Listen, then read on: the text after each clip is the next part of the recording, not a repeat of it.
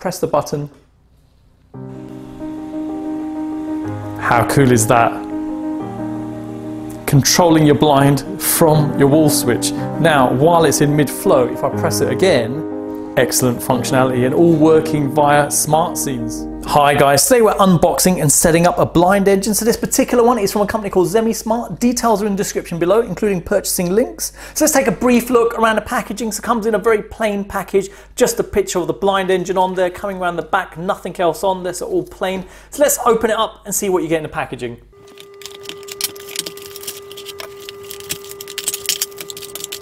Okay, so you must know the routine by now. I've laid out everything you get in the packaging, so let me quickly run through the items one by one. You get an installation and instruction manual, all in English and two sides to it. You get a card to assist with installation and it's got two holes on it and that marries up with the holes on the back here so you know where to mark on the wall. You get some fixtures, so two raw plugs and two screws. You get three plastic cogs and these are for different bead chains. You get a bit of plastic here with a nib at the end and that's used to reset the device. You get a charge cable, length of this cable is 1.1 meters, good cable quality on there and big chunky connectors on each side. One is USB and the other is DC. You get a USB receiver for this and the way this works is it uses radio frequency to connect to the blind engine and control it. And the advantage of that is, is the fact that the blind engine doesn't have to be connected to Wi-Fi, only the receiver and that communicates with the blind engine, which is a really clever way of doing it. Some blind motors require it to be plugged in permanently. This one doesn't, and it works with Tuya and Smart Life. Now, looking at the receiver itself, all plasticky build, feels of good quality. You've got a USB connection point on there. You can see there it says 5 volts DC, 5 watts. And then coming over here, you've got a set button there. You get a remote control and if I take it off the back plate, the back plate can be either screwed onto a wall or stuck on via the sticker over here. And looking at the size of this, this is 12.8 centimeters by 5 centimeters and 0.09 centimeters deep. Quite chunky, would have been nice if it was a little bit more slimmer. The cool thing about this is obviously you attach this on a wall, magnet clips it on. Looking on the controller, you've got three buttons, up, down, and stop. Let's take a look at the blind engine. So in terms of dimensions, it comes in at 18 centimeters by 4.1 and 3.8 centimeters deep. Quite a large size to it. Build is good, strong plastic all the way around, matte white finish on there. If I come around the side, can see there's no buttons or anything like that. You've got two slots here, and this is where the bead chain goes in. If you were going to install it sideways, for instance, you can just break the flaps here and then get the chain going through there. Coming over here, nothing there. Looking at the bottom, you've got a set button, and then you've got 7.4 volts DC. So that's a DC connection point to charge it. And there's a notch here. If I pull that down, pull there, the slider comes out you can see some steps there. That's just if you wanted to put more tension once you've installed it. Now to put it back on, it just slips back in. Three buttons on here, up, stop and down. And then if you look here, you've got something that says open, slide it up, and you've got the place where you put the cogs. So this is a temporary one in here, and if I pull that off, that's actually used when you're installing the device. So the way it works, you take the template here, put that in there, hold it against the wall, and obviously put your bead chain going around it. Once it's nice and tense, then you can mark where you need to drill and then move it away, drill your holes, then you can work out which cog you need to use. Obviously put it around there, just see if you turn it, if it moves well, if there's no issues, and then fit it on and then install this on. Coming over close, you can see here, there's a slight notch there. So you just marry up the notch on there and just slot it into position. Push it in and there you go. Once you've got that on, obviously put the cover back and that should be it. Let's make a start at setting up this device. I'm at my Android phone. If I go to the Play Store and we search for the app Smart Life, so it's either Smart Life or Tuya Smart. We're going to go for Smart Life here. I've already got it installed. If you haven't, obviously install it, register an account and sign in. So if I now click open to start it up, these are all the smart devices I currently have and I've even organized it by room as well. Now to get started with this, let's click plus, small home appliance and it's curtain. Next we need to enter in our Wi-Fi password. Mine's already cached as I've already used the app and we need to plug in the USB receiver. So if I now plug that in here, now coming in close on there, you can see a blue light is flashing away. So now if I click next, Confirm the indicator is rapidly blinking. Let's give it a moment. And there you go, the device is added in and it's added in as RD Intelligent Blind Motor. Click done to that and there you go, that's the interface for it. So now if I go back for a second, you can see it, that's how it's going to appear in the app. And if you go in there, let me quickly go through the options. If I click here on edit, You've got the device information, tap to run automation. So if you've got it linked to any automation, you'll see it there. You've got all the third party controls it can work with, offline notification if it can't connect to it anymore, and share the device. You can share it with other people. You can create a group with different devices. So you can group them all together so you can have multiple blinds opening or closing.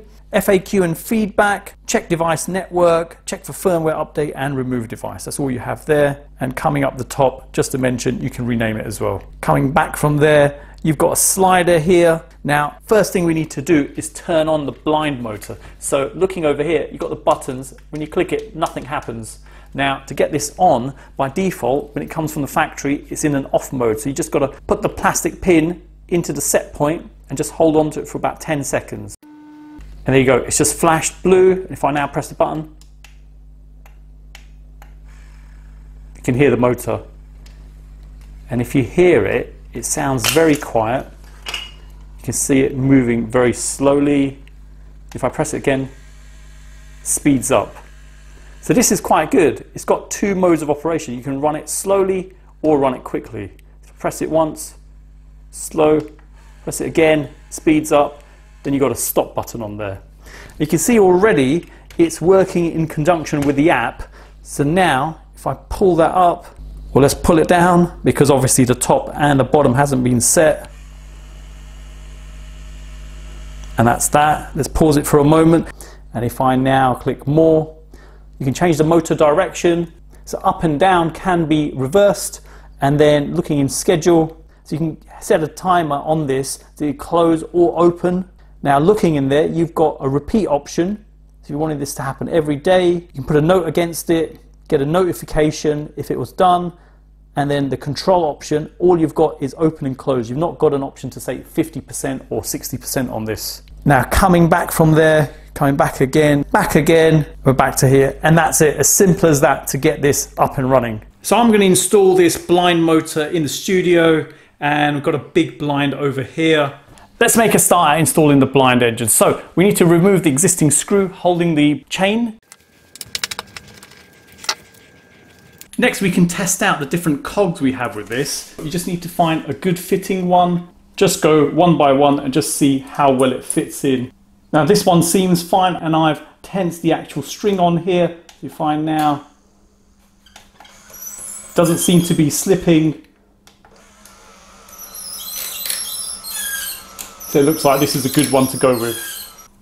So using the template now, you can see cogs here, the temporary one, and I can just mark the locations where to drill.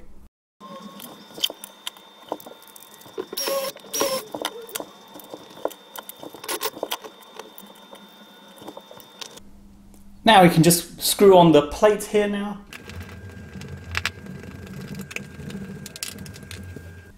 Next we can take the blind engine and position it.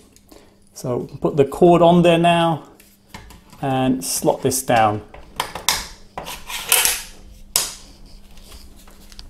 There you go, that's firmly in position now.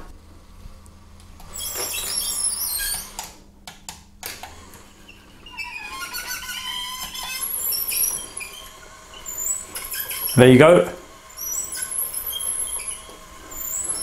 Press stop and that's it. So it seems to be working well. Now the blind motor's installed. A couple of things to note. To change the direction the motor runs in, the buttons you press here, you actually press the set button once and then down arrow and that will reverse the way it goes. So at the moment,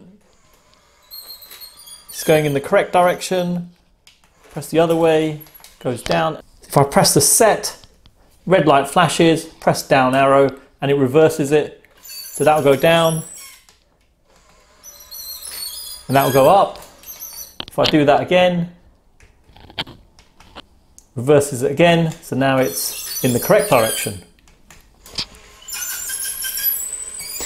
Setting limits, that's an interesting one. So what you do, press the set button, press up arrow, then it flashes once, and then you press up arrow again to set the top limit, and then to do the bottom one, you press the button for set, press up arrow and then it flashes red. And then you press the down arrow and then it flashes again. And then that sets the down limit. Now to show the blind in action with the app, so if I now click down, there you go, starts coming down, let's give it a moment.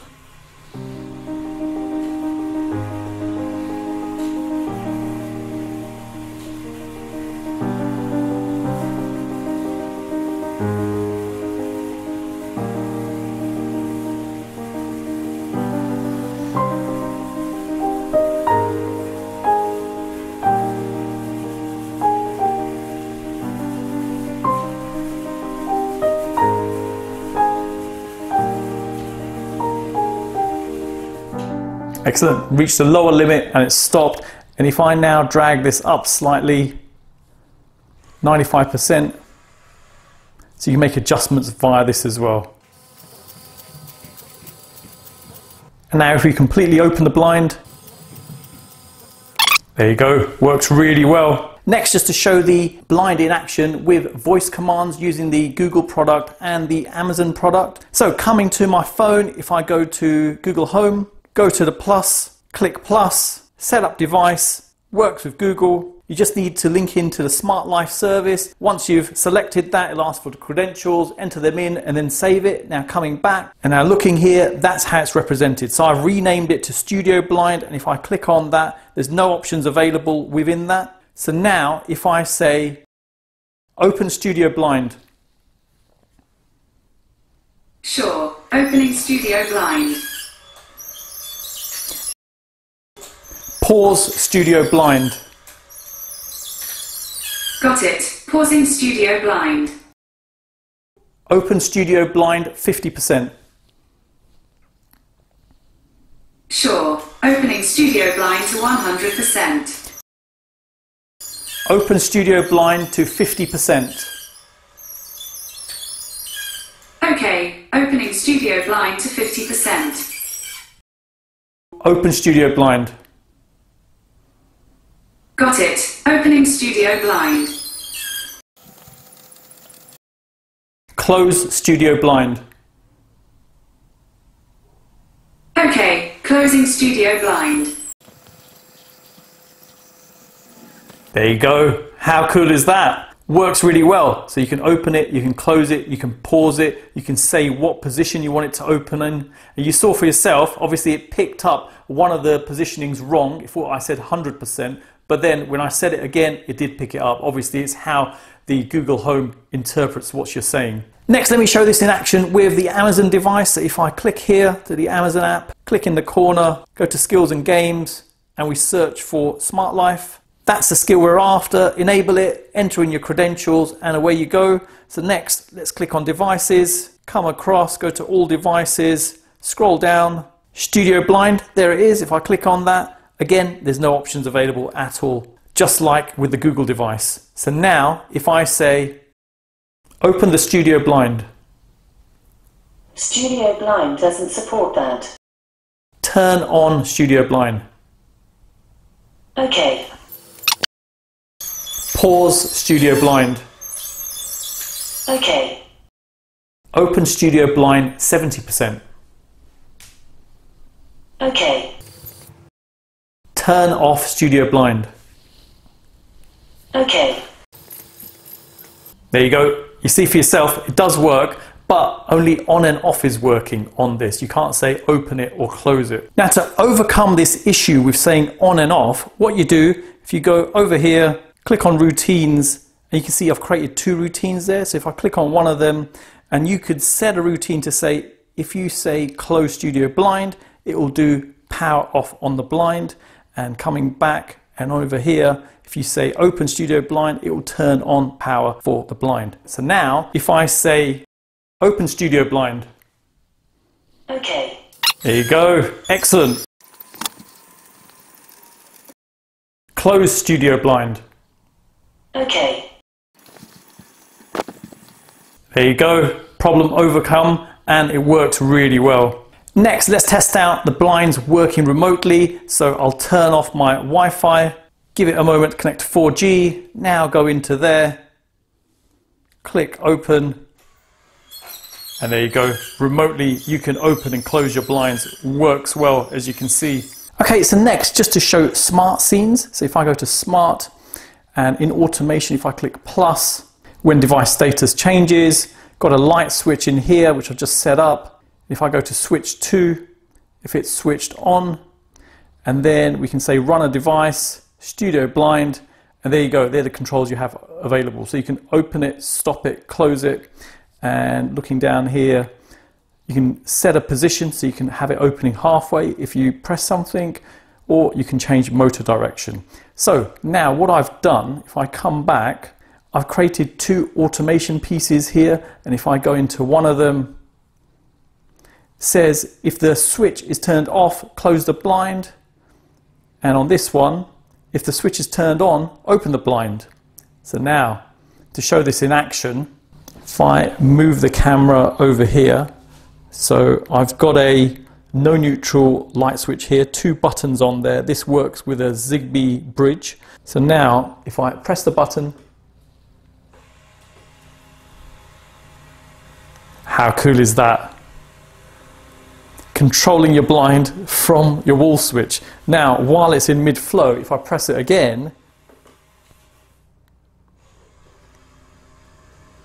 excellent functionality and all working via smart scenes. Now, in case you're wondering, does it work manually? Not really, because the motor's fixed and it's not letting you really turn. So if you wanted to do it manually, what you'd have to do is really just loosen the bottom bit and release it so you can pull it with your hand. Excellent functionality from this blind. I'm really blown away by it. I've reviewed a number of blind engines over the last few years and I think this has to be the best one so far. Reason being, you don't need to plug it in. I think that's the key thing for me. I don't want to plug anything in. I'm happy to have something charged up. And I like the fact this is working via radio frequency with the dongle plugged into a USB point. So I think that's a great idea, the way they've got this working. If I was nitpicking, the only thing I can really say about this is the fact that it doesn't have a battery indicator and it would have been nice even if it had a solar panel to keep it topped up in terms of charging. But other than that, a great product. So there you go. I hope it's helped anyone thinking of purchasing this. Details are in description below. Hang around for the end cards. I'll have some more great smart tech. Drop me a comment. Let me know what you think of this. If you haven't liked it, drop me a comment. Let me know why you didn't like it. Thanks for viewing and see you in the next one.